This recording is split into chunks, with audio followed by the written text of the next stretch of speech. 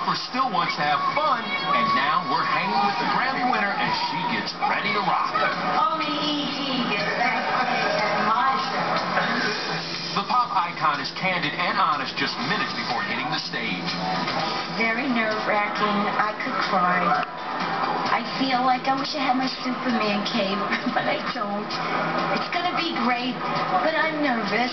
The concert in front of her home audience featuring songs from her new album, Memphis Blues, in stores now. Everything I've ever sung is based on the blues.